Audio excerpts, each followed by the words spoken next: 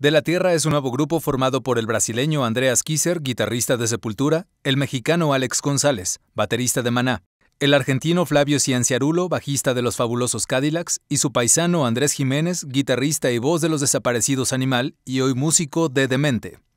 Al hablar del primer disco de De la Tierra, Andrés Jiménez nos comenta que en apenas 11 días de ensayo sacaron el nuevo disco y a los 20 días entraron a grabar. Entramos a grabar este disco que tiene 11 canciones y que es super power, que te diría que eh, la canción más mid-time, la canción más por ahí más group, más lenta del disco es el sencillo que están escuchando en este momento, que es Maldita Historia. Después hay lo demás es mucho más lleva ese, lleva, tiene ese, ese group latino, porque toca, tenemos una base súper latina, Flavio y Alex, y dos guitarras heavy metal.